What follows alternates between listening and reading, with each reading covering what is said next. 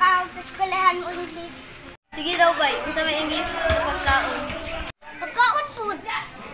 Ah, tama. Kay food. Ano bay? Unsa may English sa kaon? Ah, kay tao man. Ah, tama. Kay man. Kani bay? Plus. Unsa may English sa baruto? Ambot bay. Ah, tama. Kay. Thank you.